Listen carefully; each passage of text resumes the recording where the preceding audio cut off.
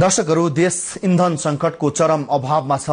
चरम सीमामा देशले यति बेला पेट्रोलियम पदार्थ बिहोरिरहेको छ। खास गरी भारतले गरेको अघोषित नाकाबन्दीपछि चीनले तेह्र लाख लिटर पेट्रोलियम पदार्थ अनुदानको रूपमा नेपाललाई सहयोग गर्ने र दीर्घकालीन रूपमा चीनसँग पेट्रोलियम पदार्थको सम्झौता गर्न यति बेला नेपालका चीनका लागि नेपाली राजदूत महेश मास्के लगायतको टोली यति बेला बेजिङमा व्यस्त छ र यस अवस्थाका बीच सिंगासेबाट यति बेला केरुङ नाकासम्म आइपुगेको पेट्रोलियम पदार्थ लिनका लागि नेपालका पेट्रोलियम ढुवानीकर्ताहरू त्यहाँसम्म नपुगेको स्थितिका बारे हामीले जानकारी पाएका थियौं र चीनबाट आउन लागेको तेह्र लाख लिटर पेट्रोलियम पदार्थ इन्धनहरू कहाँ आइपुगेको छ र यसको अवस्था के छ?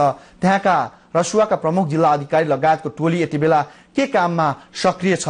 त्यसबारे हामी जानकारी लिने कोसिस गरेका छौं। देशमा राष्ट्रपति निर्वाचनको मत परिणाम आउने अपेक्षा गरिएकै बीच पनि पेट्रोलियम पदार्थको अवस्थाबारे देशले चरम पेट्रोलियम संकट खेपिरहेको बेलामा नागरिकहरूको जनजीवन असहज भइरहेको अवस्थामा त्यो पेट्रोलियम पदार्थ कहाँ लिने प्रयत्न गरिरहेका छौं। हाम्रा टिभी जर्नलिस्ट मदन ढुङ्गाना केरुङ नाका पुगेका छन् र त्यहाँबाट प्राप्त जानकारी अनुसार शनिबारसम्ममा मात्र यो पेट्रोलियम पदार्थ नेपाल भित्रन सक्ने अवस्था देखिएको छ। सिंगासेबाट यो पेट्रोलियम पदार्थ बोकेका ट्याङ्करहरू नेपालतर्फको बाटोमा गन्तव्यतर्फ अगाडि बढेको बताइए पनि त्यो कहाँ पुगेको छ यति बेलासम्म भन्न सक्ने अवस्था रहेको छैन र त्यहाँ पुगेको प्रमुख जिल्ला अधिकारीको टोली पनि यति बेला केरुङ नाकाबाट फर्किएको जानकारी हामीले प्राप्त गरेका छौँ। हाम्रा टिभी जर्नलिस्ट मदन ढुङ्गाना केरुङ नाका पुग्नु भएको छ र केरुङ नाकाको पछिल्लो अवस्थाबारे हामी जानकारी लिने कोसिस गरिरहेका छौँ। देशले बेहोरिरहेको पेट्रोलियम पदार्थको संकट कस्तो अवस्थामा छ र केरुङ नाकामा यति बेला पेट्रोलियम पदार्थ कहाँ आइपुगेको छ? मदन कि पछिल्लो पटक केरुङ नाकामा पेट्रोलियम पदार्थ आइपुगेको भनिएको थियो? सिंगासेबाट हिँडेको पेट्रोलियम पदार्थका ट्याङ्करहरू कहाँ आइपुगेका छन् र यसको पछिल्लो अवस्था के छ? जानकारी गराइदिनुहोस्। सङ्गम म यति बेला नेपालमा चिनको सिमाना रसुवागढी नाकामा छु र रसुवागढीबाट भन्यो भने भर्खरै मात्र रसुवाका प्रमुख जिल्ला अधिकारी त्यसै गरी जनपद प्रहरी र सशस्त्र प्रहरीका डिएसपीहरू केरुङ पुग्नु भएको थियो र केरुङबाट भर्खरै फर्कनु भएको छ। उहाँको जानकारी अनुसार यति बेलासम्म केरुङमा कुनै पनि तेल आइपुगेको छैन चिनबाट तेल केरुङ ल्याइएको छैन यति बेला बाटोमा छ भनिएको छ उनीहरू पनि कहाँ छ तेल के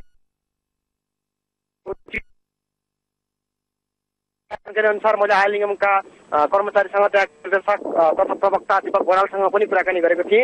उहाँको अनुसार यति बेला तेल लासामा छ भन्ने जानकारी पाएका छौँ र अहिले तेल केरुङ आइसक्यो भनेर जसरी प्रस्ताजी गरिएको छ जसरी हावा पुर्याएको छ त्यो गलत हो। यति बेलासम्म केरुङमा कुनै तेल आएको छैन र नेपालबाट तेल लिनका लागि ट्याङ्करहरू पनि रसगढी नाका वा केरुङतर्फ लागेका छैनन् र काठमाडौँबाट हिँडेकै छैनन्। किनभने पहिलो पटक ट्याङ्करको लिस्ट पठाएको थियो त्यसपछि चिनिया पक्षले ट्याङ्करका चालक र सहचालकको पनि नाम लिस्ट मागिसकेपछि आज मात्रै नेपाल आयोगले चिनको चाइनाल पेट्रोलियम कर्पोरेसनमा चालक र सहचालकको लिस्ट पठाएको छ र त्यो लिस्ट एप्रुभ भइसकेपछि लासाबाट तेल काठमाडौँतर्फ रसगाडी नाकातर्फ आउने भन्ने जानकारी पाएका छौँ। त्यसको लागि पनि यो करिब तिन दिनको यात्रा गर्नुपर्छ र तिन दिनपछि मात्र तेल नाकामा आइपुग्ने भन्नुको अर्थ शनिबार साँझसम्ममा मात्र नाकामा त्यो रसोगढी नाका वा जुन रसोगढी नाकाबाट तेरुङ सत्ताइस किलोमिटर टाढा छ त्यहाँसम्म मात्र तेल आउने सम्भावना रहेको देखिन्छ सङ्गम। जस्तो कि यति बेलासम्म यहाँ जति पनि सङ्कटहरू चुलिएको छ त्यो सङ्कटका अनुसार त्यो सङ्कटलाई तत्काल पार लगाउनु पनि पेट्रोलियम पदार्थ तत्काल ल्याउनु पर्ने अवस्था छ र अनुदानमा दिएको पेट्रोलियम पदार्थ लिनका लागि नेपाली पक्षबाट त्यहाँ आयल निगमका प्रतिनिधिहरू के भन्छन् र खास गरी यति बेलासम्म केरुङ नाकासम्मै यो तेल आइपुगेको छैन भने तपाईँले भन्नुभयो अनुसार शनिबारसम्म आइपुग्छ भनिएको छ। र लम्बिने त धेरै अब फेरि लम्बे तान हुने भएन यो प्रक्रिया पनि? पक्कै पनि सङ्घमा यति बेलासम्म चिन सरकारले अनुदानमा दिने लिनको लागि सम्झौतासम्म पनि गरिएको छैन। यसको अर्थ सम्झौता नभएसँग कसले रिसिभ गर्ने हो भन्ने कुरा जानकारी छैन र सम्झौता नभएसँग नभइकन चिनिया पक्षले पनि तेल दिँदैन र त्यसको लागि यति बेला नेपाल आयल निगम लगायतका सरकारी टोलीहरू बेजिङमा छ र त्यहाँ सम्झौता गरिसकेपछि मात्र तेल नेपालतर्फ पठाउने भन्ने हो। र यति बेला महिला म यति बेला यो अलिकति विकट भएको ठाउँमा र यहाँ सिडिएमए बाहेक चल्न सक्दैन इन्टरनेटको एक्सेस पनि छैन र मेरो जानकारीमा मेरो जानकारीमा आए अनुसार यति बेलासम्म त्यो तेल लिने सहमतिसम्म भएको छैन। यसको अर्थ आज बेलुकासम्म या भोलि सहमति भयो भने त्यसपछि मात्र लासाबाट तेल टिकाप्से हुँदै लासा र लासाबाट त्यो केरुङतर्फ तेलका बोकेका ट्याङ्करहरू आउनेछन् र त्यहाँ केरुङ भर्ने भन्ने छ। त्यहाँ पनि त्यहाँ भण्डारण गर्ने अवस्था छैन केरुङमा पनि भण्डारण गर्ने क्षमता पनि छैन र ट्याङ्करबाट नेपाली चिनिया ट्याङ्करबाट नेपाली ट्याङ्करमा सोझै तेल ट्रान्सफर गर्ने भन्ने सुनेको छु र त्यसको लागि कम्तीमा पनि हामीले अन्य कुरा यथावत रहे र काम चुस्त गतिमा भए पनि कम्तीमा तिन दिन कुर्नुपर्छ र यदि समय लम्बियो या सहमति हुन सकेन भने यसले अर्को एक हप्ता लिन सक्ने सम्भावना छ सङ्गम जस्तो कि तपाईँ यो मार्गको पनि हेर्नुभयो र बाटो चाहिँ कस्तो छ? केरुङसम्म पुग्ने नाकाको बाटो र अवस्थाहरू बाटोघाटोको अवस्था धेरैवटा ट्याङ्करहरू हिँड्दाखेरि कस्तो देखिन्छ बाटोघाटोको अवस्था पनि? सङ्गम काठमाडौँबाट यो नौबिसे हुँदै गल्छी हुँदै तल्लो बाटो आउनुपर्छ त्रिशुलीको किनारे किनारे आउनुपर्ने छ किनभने रानीवनको बाटो वा शिवपुरीको बाटो ट्याङ्कर नुवाकोटतर्फ या यता आउन सक्दैन रुवासुवा आउन सक् सम्भावना छैन। र गल्छीको नौबिसे गल्छी हुँदै बेत्रावती हुँदै आउने हो भने कालिका स्थान भन्ने स्थानसम्म त्यहाँ सहज रूपमा ट्याङ्कर दोहोरो बाटो आउन सक्छ र कालिका स्थानबाट भने अलिकति बाटो साँगुर र केही भिडको बाटो भएको कारणले पनि त्यहाँ एकतर्फी मात्र सञ्चालन गर्न दिनुपर्छ।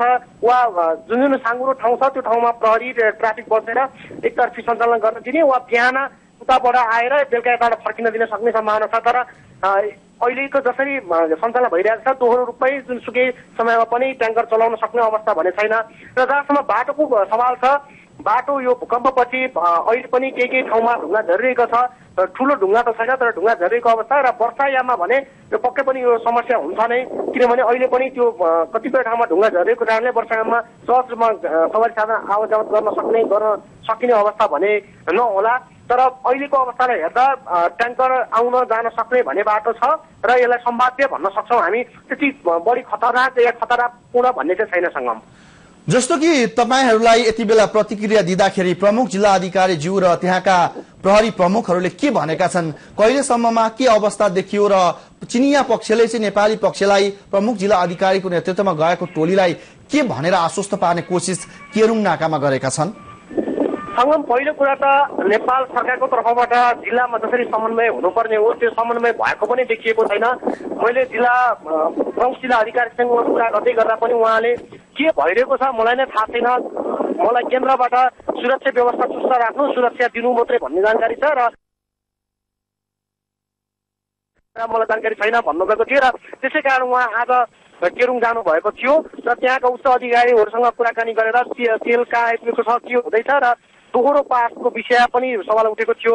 र अहिले के छ भन्नु होला भने सङ्गमजी यहाँबाट रसुवा गढीको रसुवा जिल्लावासीका लागि मात्र अहिले केरुङ जान सक्छन्।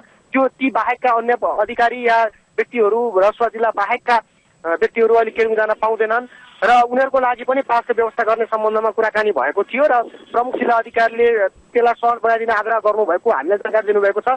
सँगसँगै तेलको विषयमा के हुँदैछ कसरी ल्याउने भन्ने विषयमा पनि उहाँले कुरा राख्नु भएको हामीलाई बताउनु भएको थियो र चिनिया पक्षको जवाब भने तेल बाटोमा रहेको र प्रक्रिया पुगेपछि नेपाल नाका पठाउने भन्ने जानकारी पाएका छौँ त्यसरी अगाडि बढिरहेको छ सङ्गम। अन्तिममा कि त्यो आयल निगमबाट जुन खाले पहल भइरहेको छ आयल निगमका ट्याङ्करहरू चाहिँ कहिलेसम्ममा केरुङ नाकामा पुग्नेछन् अथवा आयल निगमका अधिकारीहरू चाहिँ के भनिरहेका छन्? पहिले त त्यो तेल सम्झौता हुनु पर्यो जुन अनुदानमा दिने लिने भनेको तेलमा पनि अहिलेसम्म सम्झौता भएको छैन र त्यो सम्झौता भइसकेपछि र उनीहरूले चिनिया पक्षले नेपाली ट्याङ्कर चालक र सहचालकलाई सहमति केरुङ जाने सहमति दिइसकेपछि मात्र काठमाडौँबाट तेलका ट्याङ्करहरू गुडाइने भन्ने जानकारी पाएको छु र यसको लागि आज बेलुकासम्ममा यो सहमति हुन सक्ने भनेर कुराकानी भएको थियो। मैले त्यहाँका प्रवक्ता आज बिहान मात्र पनि नेपाल आयल निगमका प्रवक्ता दिपक बरालसँग कुराकानी गरेको थिएँ र उहाँले आज बेलुकासम्म सहमति हुन सक्ने आशय व्यक्त गर्नुभएको थियो। तर अहिले अपडेट मैले मैले उहाँसँग पटक पटक फोन सम्पर्क गर्ने प्रयास गरेको छु तर उहाँसँग फोन सम्पर्क हुन सकिरहेको छैन र आज बेलुका यदि आज सहमति भयो भने भोलि काठमाडौँबाट लासाबाट तेल हिँड्ने र पर्सि काठमाडौँबाट तेल हिँडेर एक दिनमा आइपुग्छ। काठमाडौँदेखि एक दिन पनि लाग्दैन यहाँ र सुवागढी आइपुग्न। र त्यहाँबाट एक दिनमा आउ- आउने भएको कारणले पर्सि काठमाडौँबाट तेलका ट्याङ्करहरू यता हिँडाउन सक्ने गुडाउन सक्ने सम्भावना देखिन्छ सङ्गम। हस् जानकारीका लागि धन्यवाद। उहाँ हुनुहुन्थ्यो हाम्रा टिभी जर्नलिस्ट मदन ढुङ्गाना केरुङ